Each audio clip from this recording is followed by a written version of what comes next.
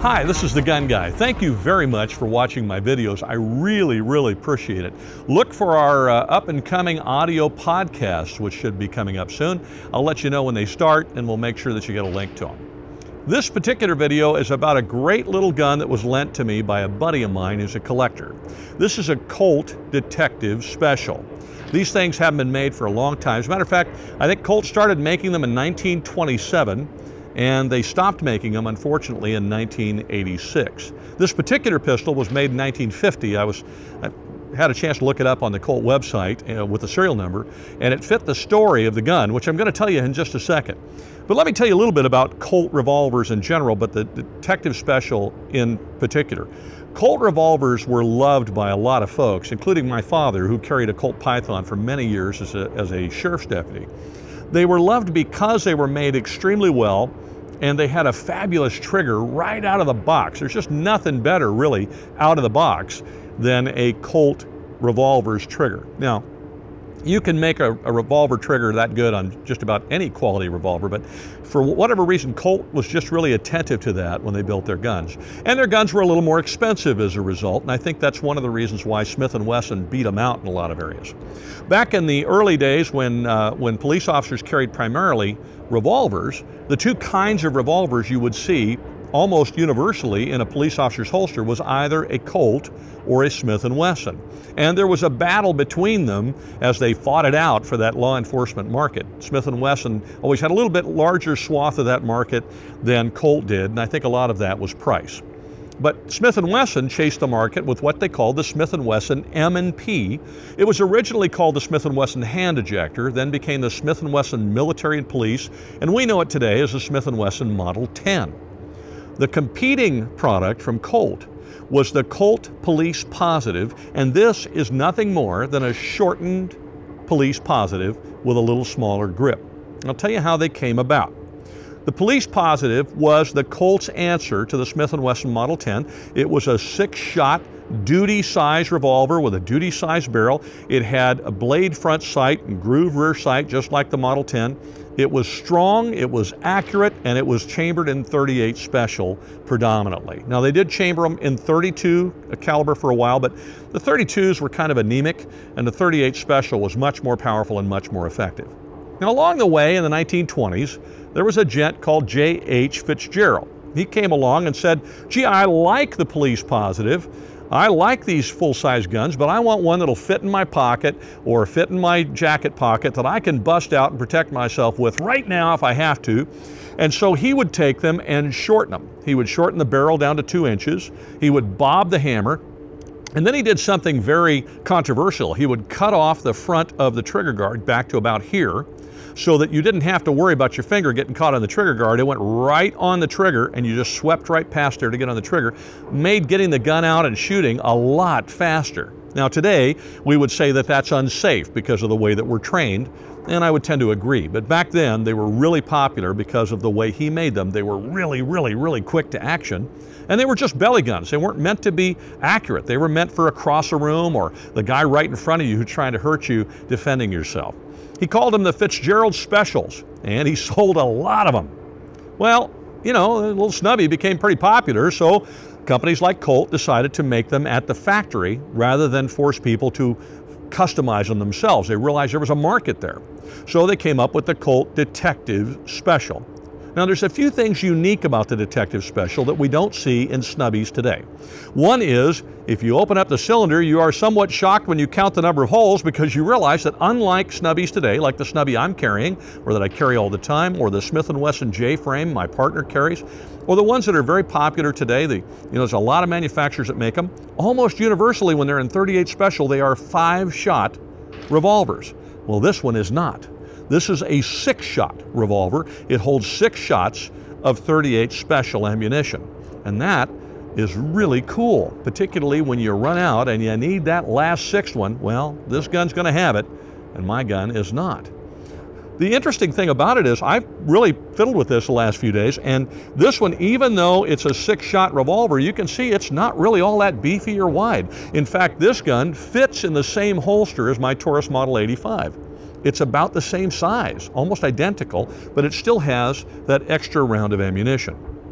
The other things that are interesting about Colts in general is the fact that they designed them with a different, some different thoughts in mind. One is the cylinder, instead of rotating counterclockwise, actually rotates clockwise. And if you ever wonder, if you don't know revolvers well, and you ever wonder how to tell which way the cylinder rotates without actually rotating it, all you have to do is look for the cylinder bolt notch. That's this little notch that's on the back of the cylinder. It looks like a bullet, and whatever direction the bullet is pointing, the little notch is pointing, that's the direction the cylinder rotates. In the case of most revolvers today, they rotate counterclockwise. In the case of the Colts, they rotated clockwise. I'm sure there's some engineering reasons for that. I don't have time to discuss in the video, but I will put them up on the blog and uh, probably in the podcast. But and so you can check there. I'll put a link for the blog here so that you can you can check there and we'll find out about that. But it is interesting to, to remember that they do rotate the other way. The other thing is that the cylinder release on a Colt is different than that of a Smith & Wesson or a Ruger or a Taurus. Smith & Wesson, Taurus, guns like that, you push forward on the cylinder release. It's a separate little knob and the cylinder comes out. Ruger, you push in. But on Colt, the cylinder release is actually part of the blast shield behind the ammunition and behind the cylinder. And you pull back on it toward the rear of the pistol, the blast shield and everything moves, and the cylinder swings out. There haven't been a pistol made like that in a long time in the United States that I'm aware of, and the only one that I'm aware of in the United States that ever did that was the Colt, and they were all built that way. So these guns are really fabulous little guns. I, I got some questions about it walking around the range with it. Uh, one of the questions I got was, does Colt still make them? And no, they don't. Uh, they stopped making them in 1986. Another question I got was, are they good guns? Well, uh, yeah, they're really, really, really good guns. Uh, are they valuable? Yes, they're extremely valuable. They are collector's items, so if you happen to get your hands on one, I would not use it for self-defense or carry it around. Instead, I would enjoy it and uh, shoot it for fun, but take really good care of it. Um, somebody asked me, can you shoot plus P ammunition in them? And the answer is no. They're not built for that. They won't handle the pressure.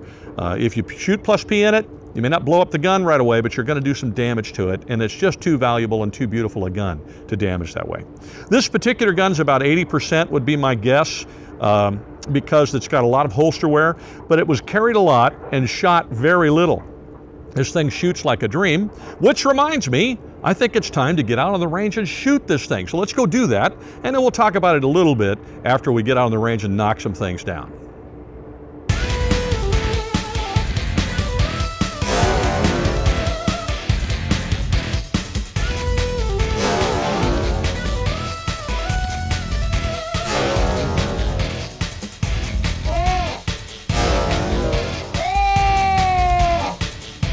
Wonderful little Colts are such a joy to shoot that you can stand out here and shoot them all day, particularly 38s because they're so inexpensive. But the trigger, even on this little, uh, tiny little gun, uh, it's almost, it's better than a target triggers I have on other revolvers I own. I mean, just press, it's so smooth.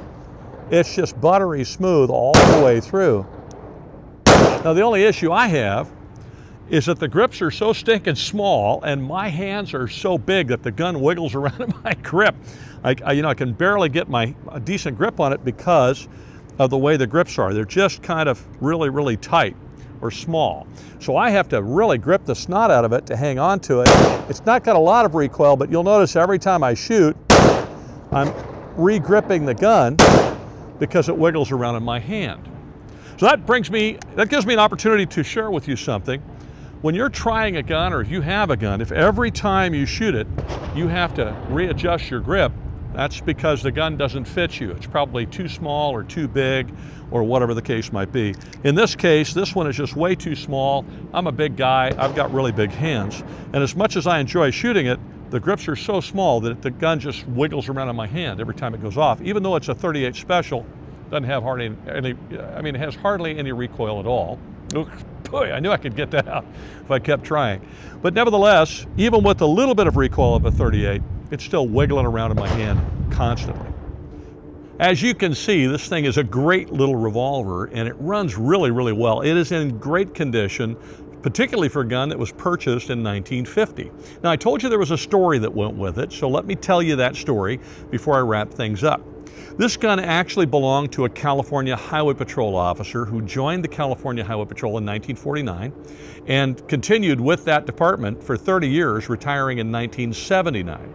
In 1950 or 51, the family doesn't remember, he purchased this gun as a backup to his duty revolver. Now, this gun was made in 1950, so I suspect that's probably when he bought it. And he carried it around with him for the majority of his career and then retired in 1979. And at some point, couple, two or three years ago, unfortunately, the gentleman passed away. Well, when he did, his family had an estate sale and they sold a lot of his belongings, except for this gun. And it was later when they were moving things around and moving furniture that they found a shoebox which was hidden under his bed. And in that shoebox was this little Colt Detective Special. Now, interestingly enough, the gun had been in the shoebox for so long that even though it was loaded, it was completely non-functional and it was frozen shut. You couldn't get it open, they couldn't get it to move, and they had to be really careful about it because the gun was loaded. Well, a friend of mine who's a, a, a collector of firearms was asked about it. He took a look at it and he bought it even though it was loaded and though it was non-functional. He thought, well, you know, I might not get anything out of it, but I might be able to restore it. So he took it home and very carefully and very gently took the gun apart, got the cylinder to come out, removed the ammunition, cleaned it up, lubed it up, and put it back together. And that's the gun that you see before you right now. This gun now functions flawlessly. It shoots beautifully, as you could see.